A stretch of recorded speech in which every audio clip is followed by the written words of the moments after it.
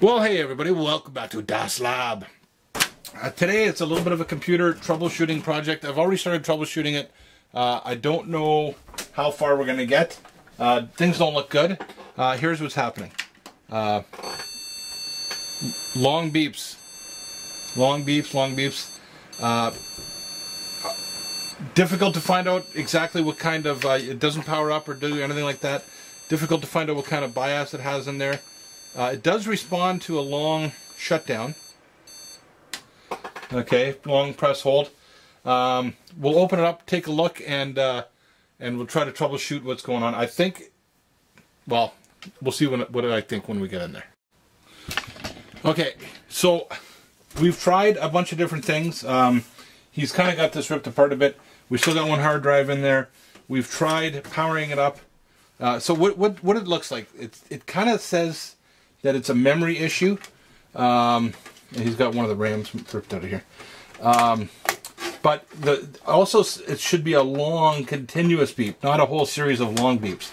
Is a, a memory issue. In any event, we've tried um, uh, moving the RAM around. We tried different RAM. We tried this RAM in another computer. It's DDR3 RAM, and uh, it works just fine. So I don't think it's a memory issue. Uh, all indications are it looks like it's a hard um, fault on the motherboard or CPU fault, something like that. Uh, we've tried disconnecting the SATA drives. We've tried disconnecting different things. It's always the same sort of uh, tone whenever we boot it up. And um, it's a Gigabyte GA78LMT uh, motherboard is probably seven, eight years old, and it's got uh, dual BIOS on it. I don't know what kind of BIOS it is, but um, bottom line is it's still doing the same old thing every time. I'm thinking uh, it shows like a hardware fault. He's got this great big huge uh, video card in here. We've tried ripping that out using onboard video. Um, that doesn't seem to be it either. So uh, every time we do get in here, I unplug it. I have tried going in and uh, replacing the battery and doing a, a, reset. There's a couple pins here you can short out to do a reset on the whole system. Uh, put a short across there for five seconds, new battery, all that stuff. None of that sort of panned out. So what I'm going to do now is uh, I'm going to take this uh, video card out again because it's kind of in the way and uh, this whole computer had a problem before too where it had um,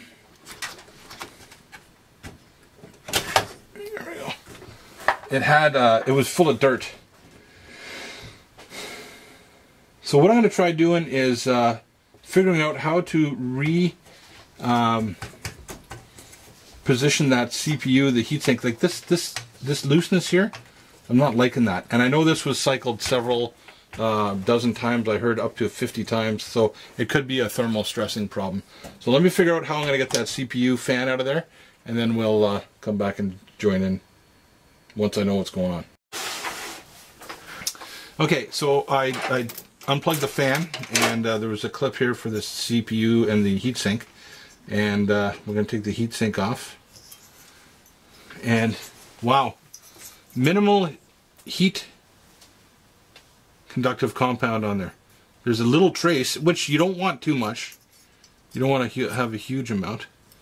Okay, so these uh, little connectors here for the heat sink, if they're going to come out, I want them to come out where I choose. Of course, there's always one, right? Okay, fine, you can stay in there. So yeah, not a lot of heatsink compound on there, and I have some more of the gray stuff. And there's the CPU.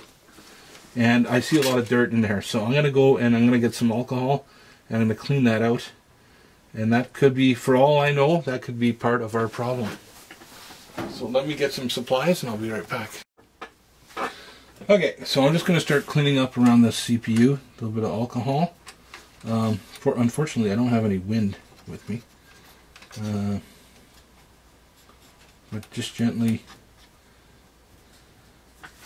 mopping up. I'm using a little bit of isop isopropyl alcohol. Nice little cleaner. Because before I go and lifting up the CPU to reseat it, I just want to make sure that I get as much dirt out of here as I can. Uh, you got to be careful if you're using compressed air because uh, the air going across the um, surface can cause static and uh, you can uh, actually do a lot of damage with compressed air. Uh, so you got to be careful. You got to be really careful, especially in dry conditions like in winter. It's not dry; it's raining out here right now. So, all right, and I'm just gonna start cleaning up the surface of that. That really had minimal, minimal um, heat sink compound on there, which is okay. I mean, this has done pretty good for the last several years, but uh, there should be a, a little bit in there.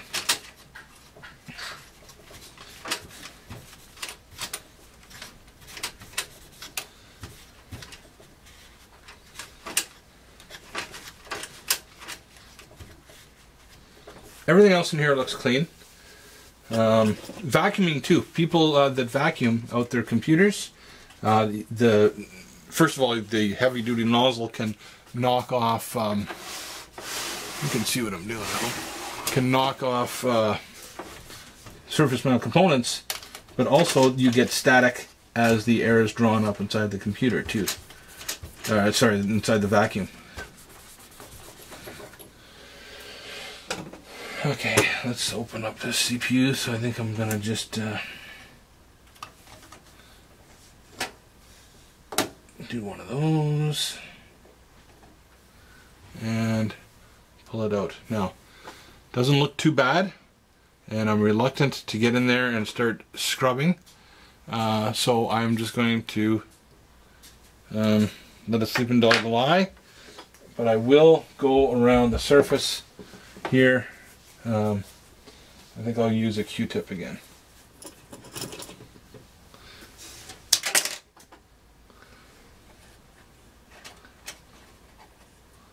just to get a little bit closer. And again, I don't want to drive anything down into those holes.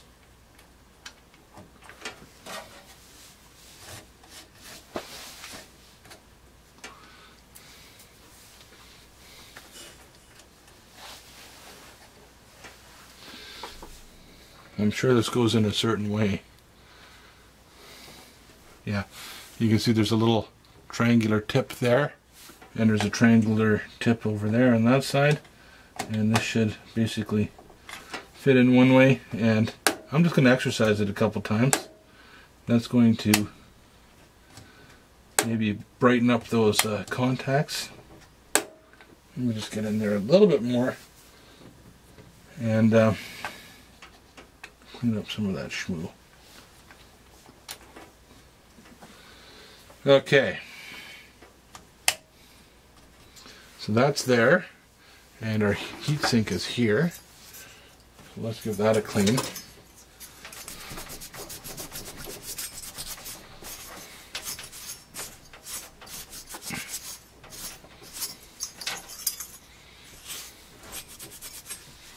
Yeah, so there, there's probably enough on there to do the job. You don't want um,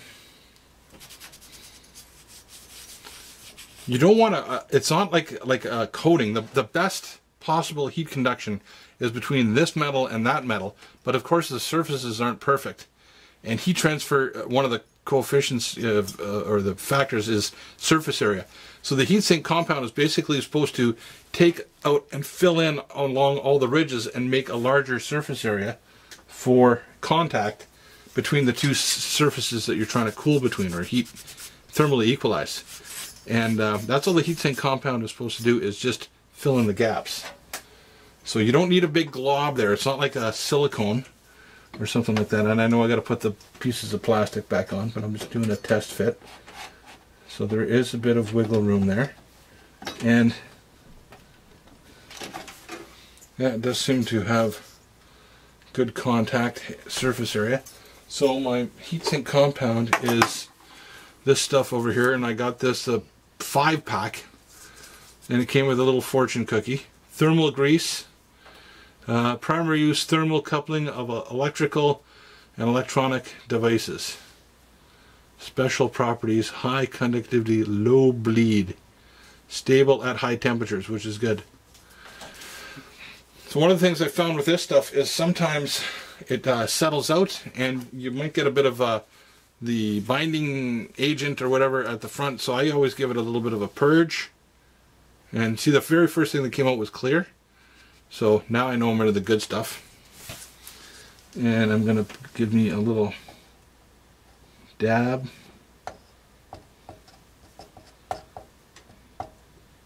It doesn't really take much more than that. Does not take much more than that. And you want it even.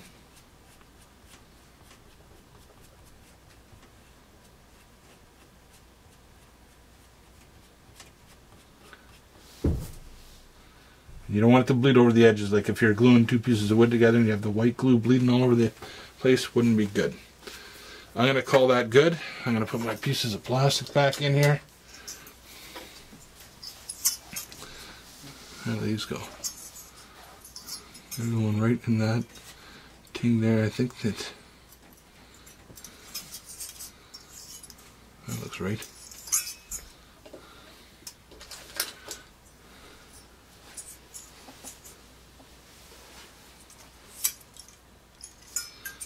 And one more.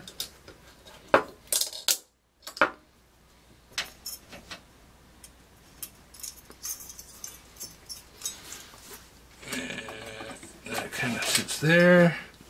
And this is like a spring-loaded bear trap type of dealie. Get that a bit of a clean there.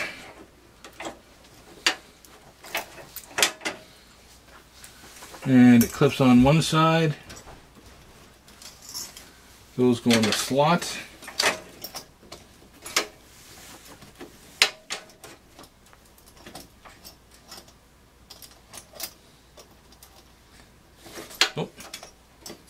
Yeah, there we go.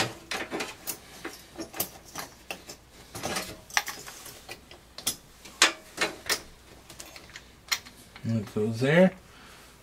Plop that down there. Doesn't hurt to give it a little bit of a wiggle. And because that fan's going to want to start up, we should make sure that it's going to be reseated properly. So I'll screw the fan on and I'll come back. Okay, so the fan's back on. We're going to plug it in cross our fingers. Um, got the RAM in the right spots. You can tell that it's got a little label here, one, two, three, and four, so you got to load them up in the right spot. Uh, we got a hard drive plugged in, the video card's out, but uh, none of that should affect it. We'll see what the post test looks like. Powering up.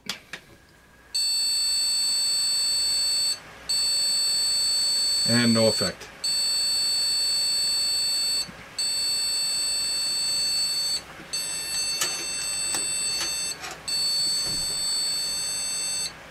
Okay, so next I'm going to rip the motherboard out and see if there's something underneath that uh, may be affecting it. There, I can see the motherboard through here. There's very little I can actually see through here. So, next, motherboard.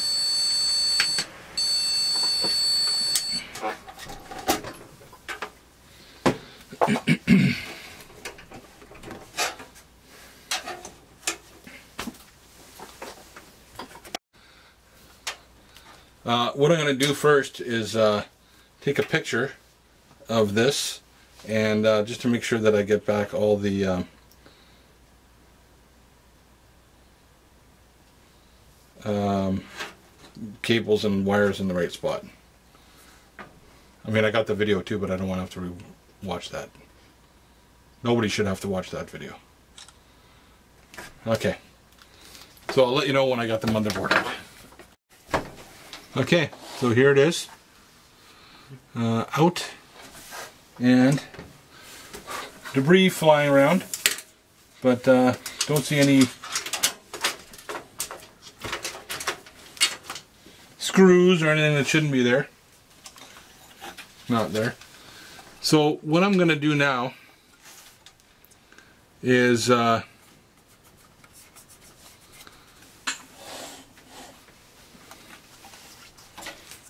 there's all the RAM slots. So what I'm going to do now is I'm going to take my goggles and I'm going to just do a check over and see if anything looks like obviously burnt up or uh, malformed or anything like that.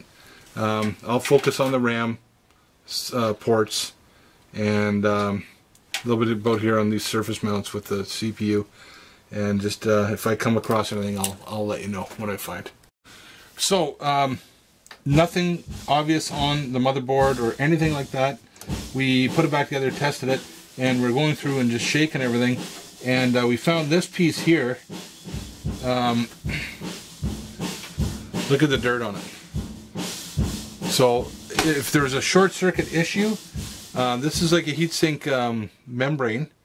Uh, we're going to clean this up and see uh, if all those little chips, there's lots of lots of fur in there. We'll see if we can clean that up and maybe that's our problem. So we're to try this for just a second. Power's over here. Um, without the heatsink on it, just to see if that's it before we start going cleaning everything.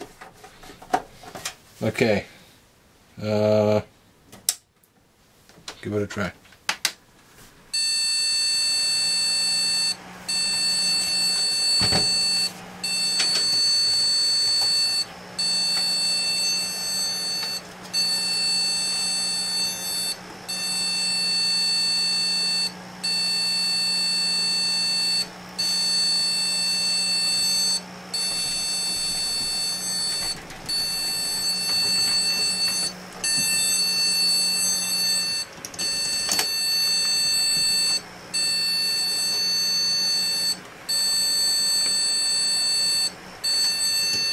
Nope.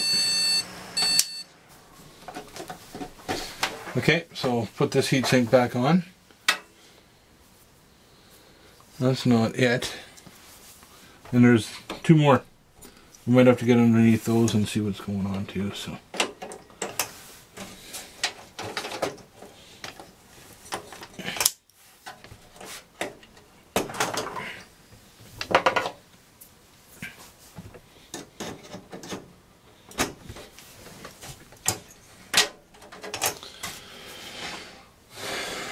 Okay.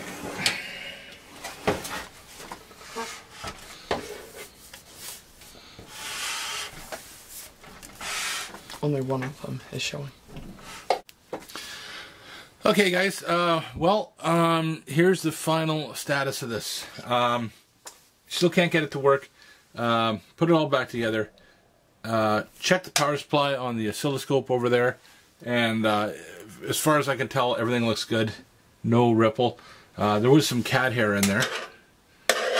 Um, still can't guarantee that it's uh, not doing something.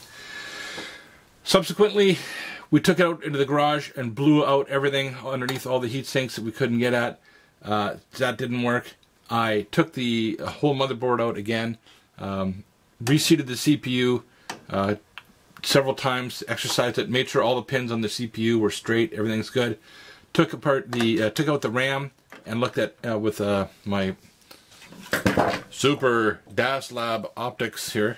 Went through and looked through uh, all the uh, little ports and connections on the RAM. Didn't see anything wrong. Also went on the other side of the motherboard and I touched up all of the solder connections on uh, RAM slot number one.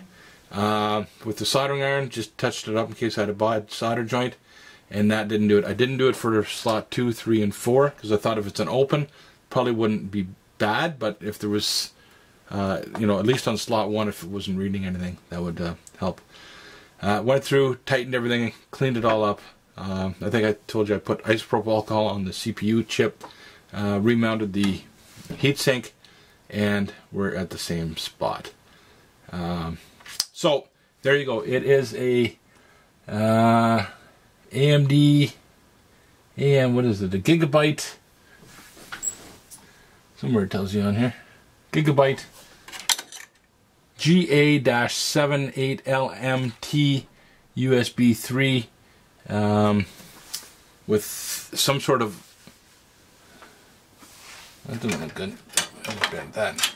Some sort of. Uh, I mangled up that RAM because I was fooling around with that power supply. Some sort of a uh, BIOS in it. Uh, where that's from, not sure. Uh, wouldn't recommend using that. Anyhow, uh, we don't like to give up on DAS Lab, but we do stop sometimes, and that's as far as I'm going with this. If for some reason somebody in the comments uh, helps me out, I will further comment or maybe make a subsequent video as to what the problem is. Other than that, um, we're looking at probably a new motherboard for uh, upgrading the guy's system so he can play his uh, flight simulator game. Uh, hopefully you had fun hanging out with me uh, while we went on this little adventure. Um, I'm sure I did a bunch of things wrong. It's really humid here today. I wasn't worried about anti-static uh, wrist straps. I do have one somewhere. Um, but, you know, that would be also a concern. Other than that, that's all I got for you this time on DAS Lab. Hopefully you had fun and enjoyed something. Um, always have fun be safe, and don't get any on you. See you next time, and if you like what you see, still, you know, hit that like button and subscribe. Okay, we'll talk to you soon.